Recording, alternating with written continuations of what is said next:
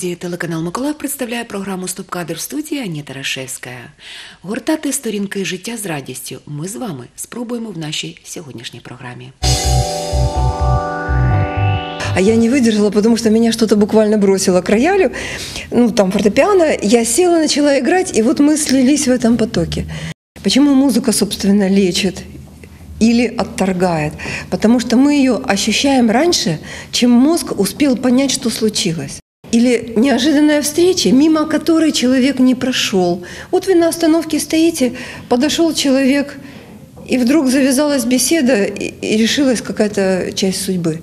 Там у тебя есть вот, это, вот то зернышко, из которого этот росточек расцветет и расцветет прекрасный цветок твоей душе. Он есть, и вот это пора, пора.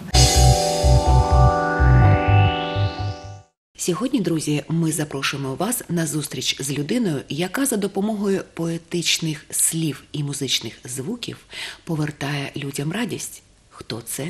Побачимо зараз.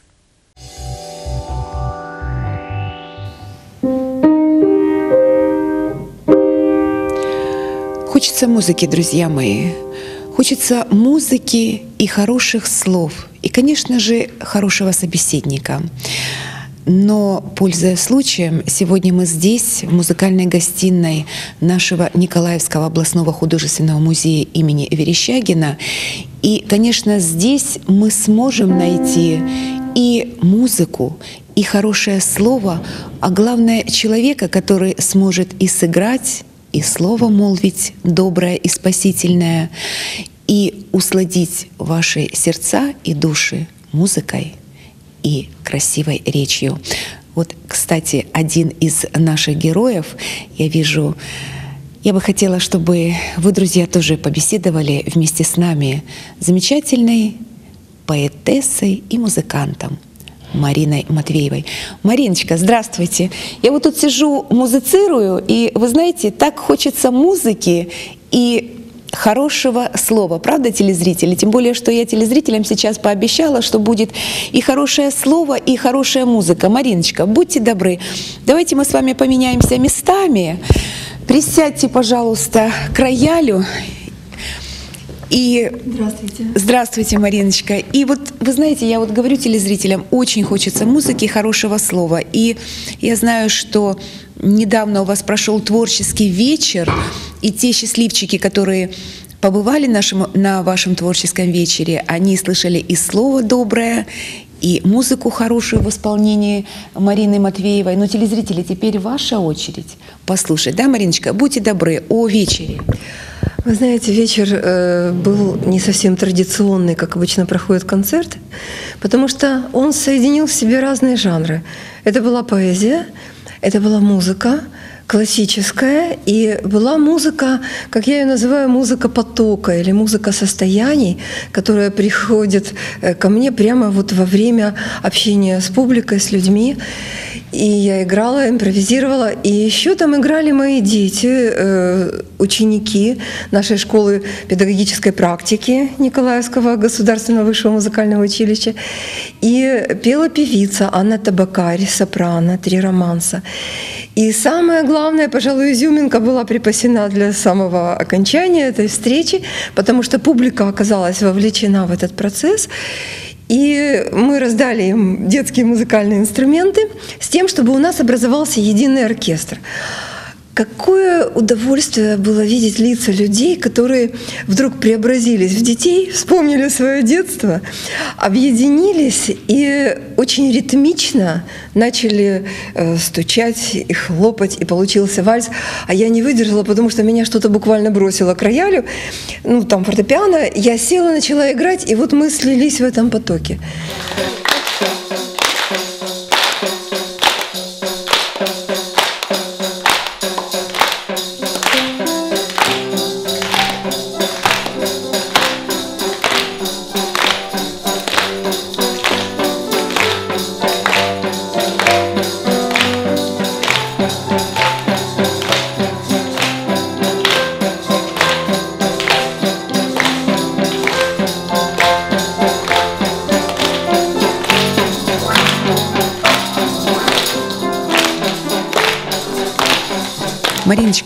Мы знаем, что музыка лечит. Мы с вами уже не раз говорили о музыкотерапии.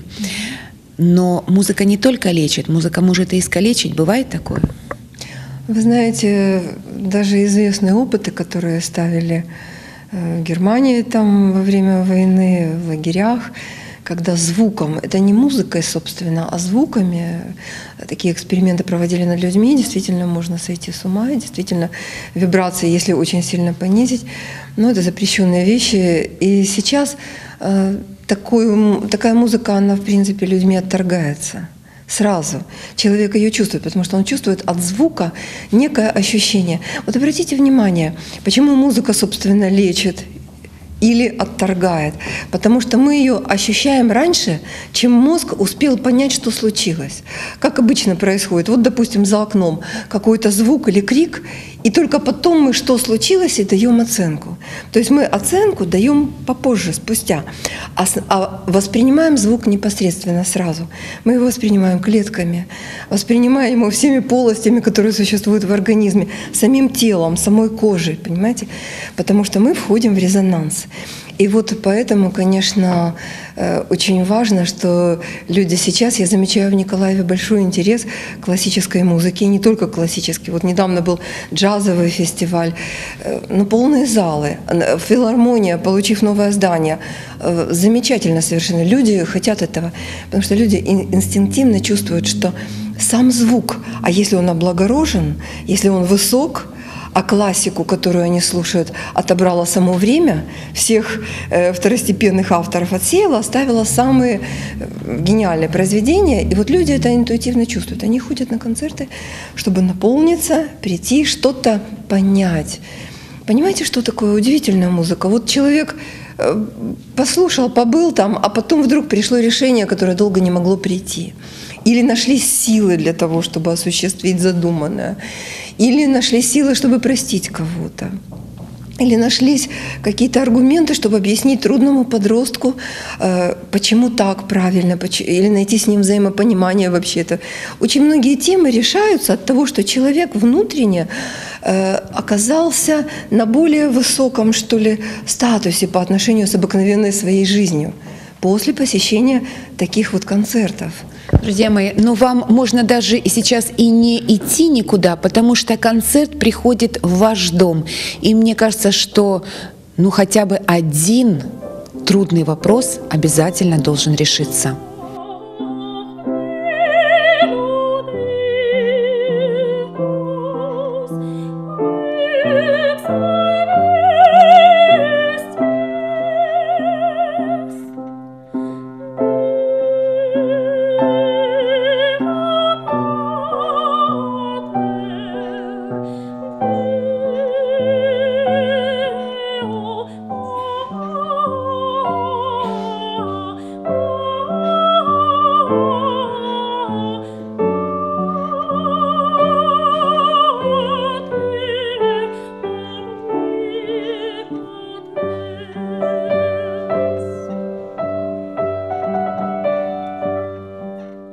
Мариночка, вот по поводу решения вопросов, о которых вы говорили м, только что, то есть вы говорите, что музыка может даже помочь в решении вопроса какого-то трудного. Я думаю, телезрители, что ваши вопросы тоже будут обязательно решаться, если у вас есть трудные вопросы, конечно, но они у каждого человека есть.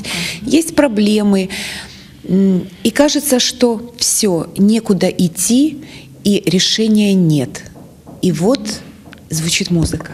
И вот тогда человек может обратиться только вглубь самого себя, потому что там на самом деле есть все. Просто мы это все э, отвлекаясь на течение повседневной нашей жизни, мы его не слышим, не обращаем внимания, сомневаемся, говорим, да нет, я не могу быть таким умным.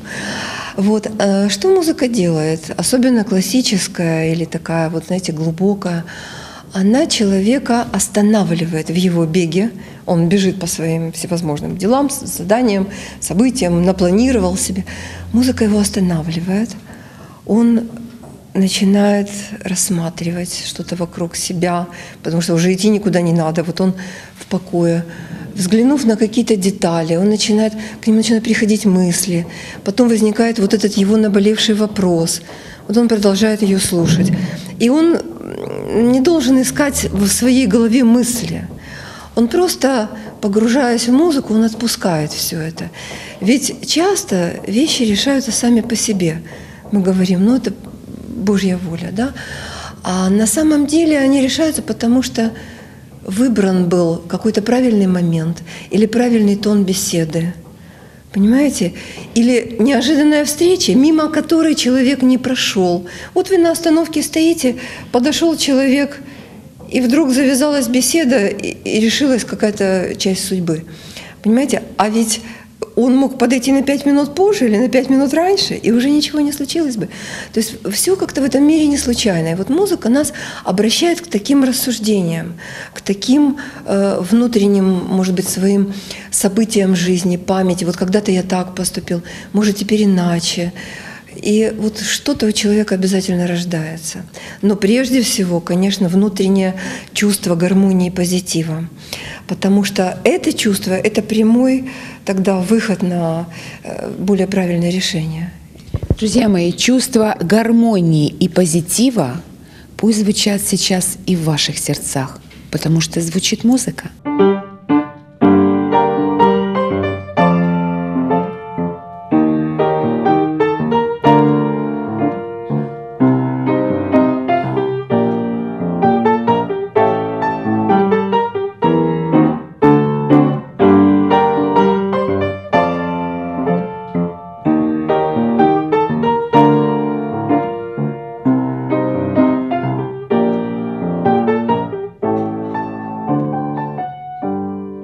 Идя по жизни, тот позитивный багаж, который мы набираем и в э, музыке, и в поэзии, и вообще в положительных эмоциях, конечно, он дает силы и дальше двигаться по жизненному пути. Вы понимаете, жизнь так устроена, что она строится на созидании. То есть в ней присутствует разрушение, это в виде всевозможных негармоничных ситуаций, энергий, там, поведения людей. Да? Разрушение всегда, вот оно, разрушение созидания. Но созидание сотворяет жизнь.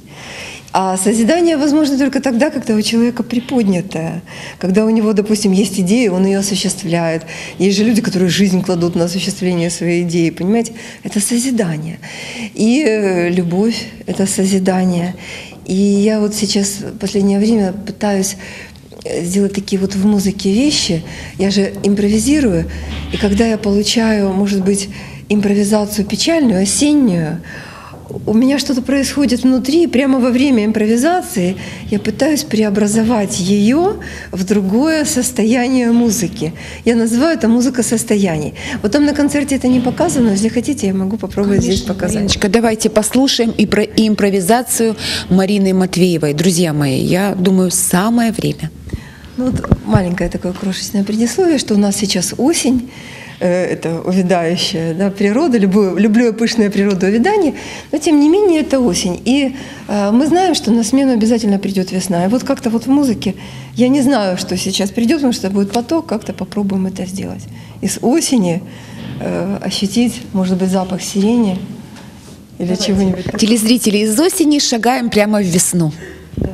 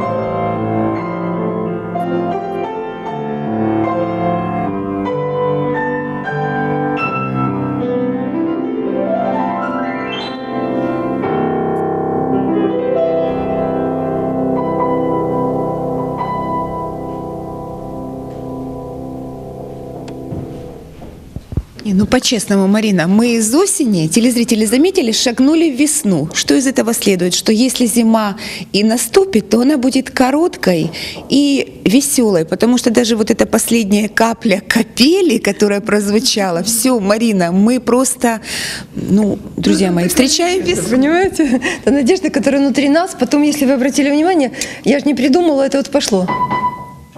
Это слово «пора». Пора. Пора, пробуждайся.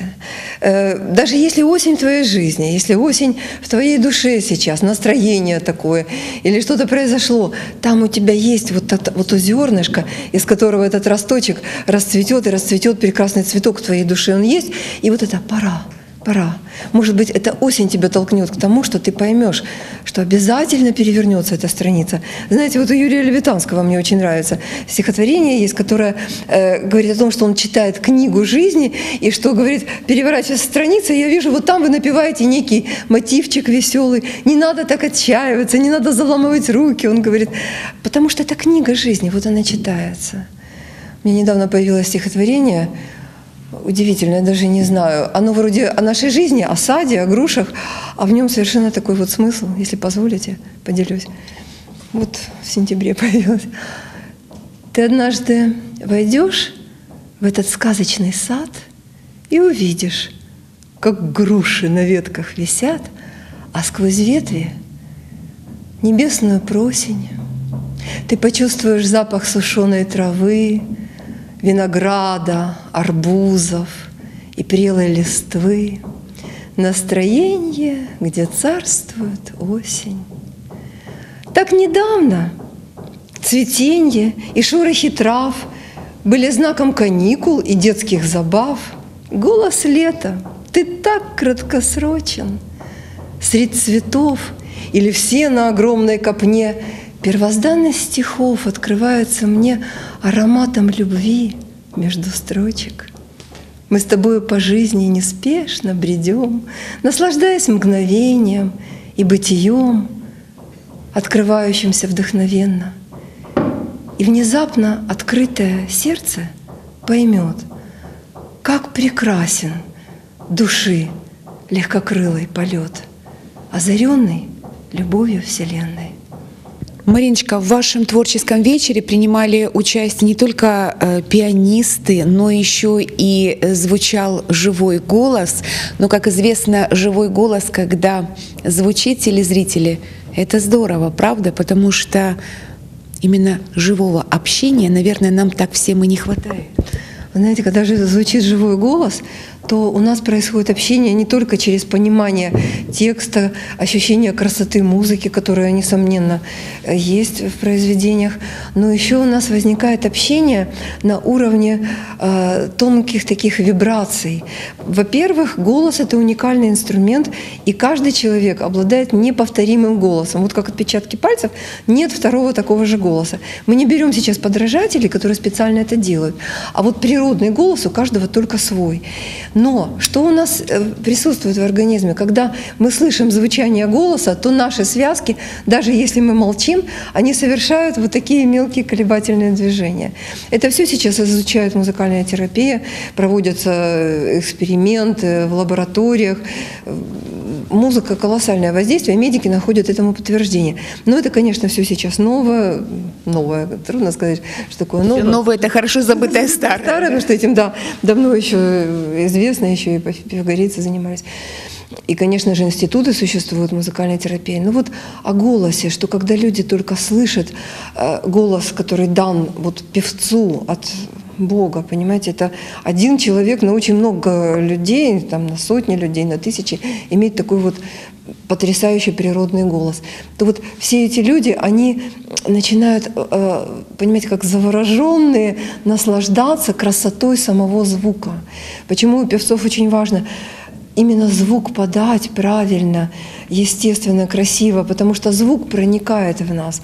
Звук. И поэтому мы можем слушать не только романсы и произведения на знакомом нам языке, на русском или украинском, а мы можем слушать на любом языке и все равно проникаться этой красотой.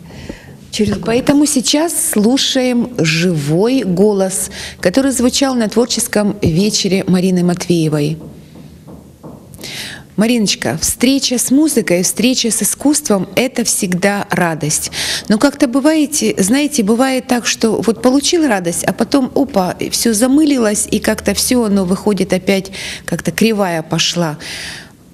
Чтобы не уходить в кривую, ваши рекомендации? Ну, конечно же, искать музыку вообще везде. Потому что, понимаете, ведь музыка, она во всем – она в окружающей нас действительности тоже есть. есть. Вот листья сейчас падают, они образуют танец. Вот они образуют рисунки на асфальте, они ложатся каким-то определенным ритмом. Это похоже на шаги. То есть открываться всему, что ты видишь. Ненастный ветер, буря. Из этого сколько создано шедевров поэтами. Да, он мятежный просит бурю, но это же там же переносные смыслы есть. И поэтому, если у нас совсем не, не радостное состояние или не гармоничное, мы можем вытащить себя, просто подняв голову, посмотрев на небо, а в нем всегда разные рисунки, посмотрев на листву, посмотрев на лица детей или каких-то стариков, которые... Конечно, у нас много людей страдающих, но есть люди, у которых в глазах есть какая-то светлая мудрость – Понимаете? И вы вдруг, мгновенно бросив взгляд на человека, вы мгновенно подзаряжаетесь. Я всегда привожу такой эксперимент, когда я публике говорю, ну если особенно это публика молодость, которая проходила в 50-е годы, я говорю, вспомните такое вот у вас было популярное произведение «Утомленное солнцем». Одно только название, люди раз и зажигаются, потому что мгновенно память рисует картины молодости, их вечеров, их приглашений на танец под это танго «Утомленное солнце», признание в любви, целый срез, понимаете? И люди, которые в 50-е годы, там, полвека назад, да, были молодыми, они вдруг э, за долю секунды становятся молодыми. Вот что делает музыка. Поставьте песню. Сейчас, слава богу, у нас не 17 век, нам не нужно приглашать придворных музыкантов или каких-то других музыкантов. У нас можно кнопку нажать и просто перенастройте себя. Музыка перенастраивает за доли секунды. Просто поставьте то, что вы очень любите. То, що ви очень любите. Поставьте. Музикотерапію ви, друзі, отримали сьогодні від поетеси і музиканта Марини Матвєєвої, чиї імпровізації здатні перетворювати світ на краще. Я Нітрашевська прощаюсь з вами. На все добре.